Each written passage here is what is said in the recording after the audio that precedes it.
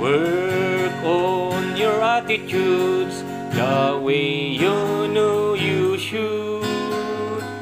Put away those selfish thoughts and think only on good. Check all your motives, make sure the test. Then the Lord will help you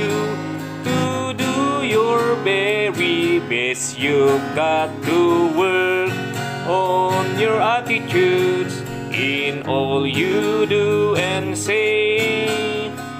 Look for opportunities to practice them each day. People around you are watching all you